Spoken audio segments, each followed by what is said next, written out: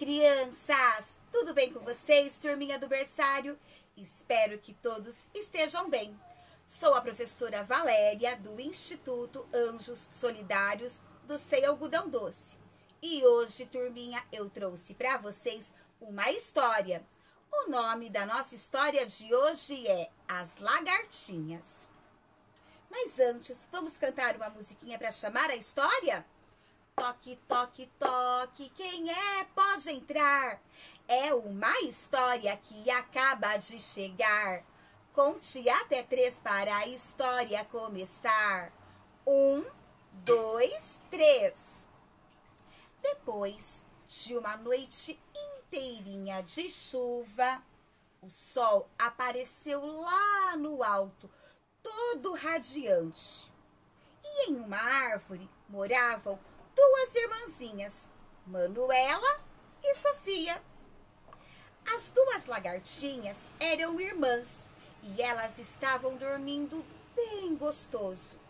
Quando o sol saiu lá no alto, as lagartinhas acordaram, colocaram a cabecinha para fora do tronco da árvore onde elas moravam e pensaram assim: Nossa, mas que dia mais lindo, que sol brilhante! E elas resolveram sair para brincar. Manuela colocou um lacinho no cabelo e as duas saíram. Sofia ainda estava com um pouquinho de sono.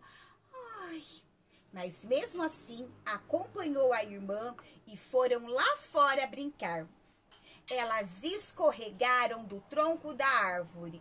Yupi!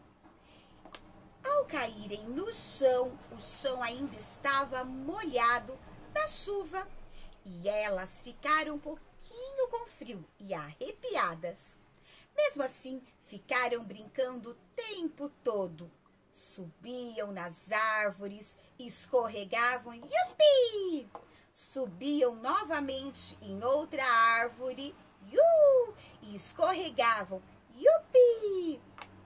Elas passaram o dia todo brincando e se divertindo muito.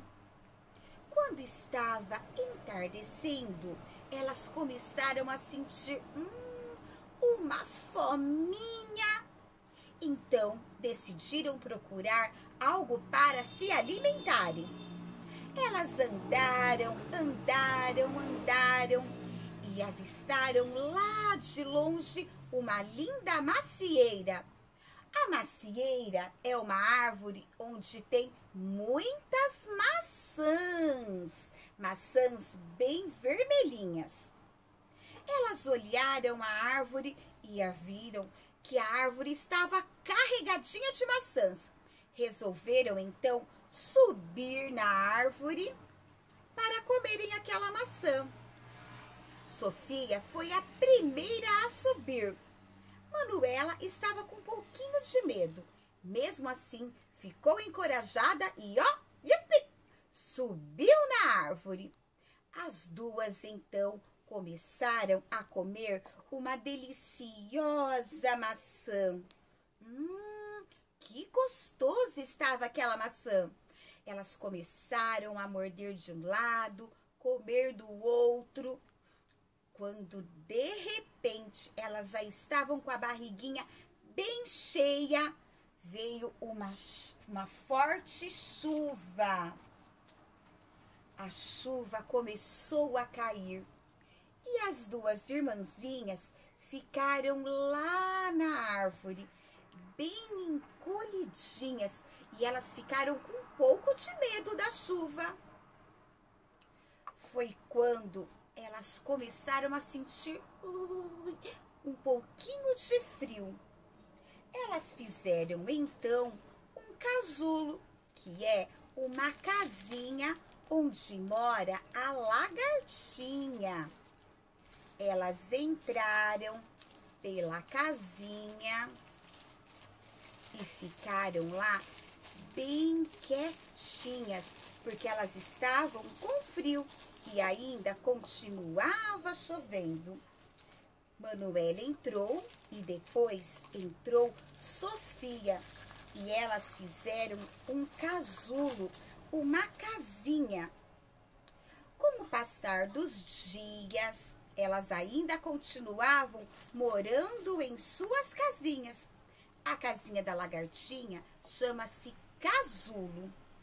Depois de alguns dias, com a barriguinha cheia e de dormirem bastante, o sol novamente começou a brilhar lá no alto do céu. Então a casinha já estava ficando bem apertadinha e estava bastante escuro.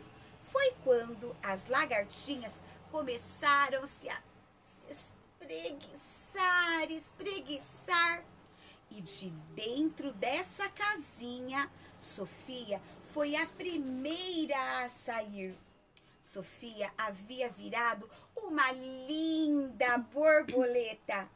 Em seguida, ela ficou olhando lá de cima do alto e viu que a sua irmãzinha Manuela também começou a se espreguiçar hum, bem aonde rompeu a casinha. E lá de dentro também da casinha de Manuela saiu também uma linda borboleta. Então, crianças, vocês saibam que as lagartinhas viram o que? Lindas borboletas. Elas não sabiam direito ainda voar. Mesmo assim, arriscaram um voo. E lá se foi Manuela, voando pelo alto. Em seguida, foi Sofia, também voando. As duas começaram a brincar de um lado para o outro. E assim, crianças, as lagartinhas que viraram lindas borboletas passaram depois disso sempre brincando lá no alto do céu, pois elas haviam virado lindas borboletas coloridas. Espero que vocês tenham gostado muito da história de hoje. E assim, crianças, terminamos por aqui cantando a música da borboleta. Eu vi uma borboleta voando sobre o jardim, tão bonitinha, voava assim. Voa borboleta, voa borboleta, voa borboleta, voa. Voa borboleta, voa borboleta, voa borboleta, voa. E assim, crianças, terminamos mais uma história de hoje.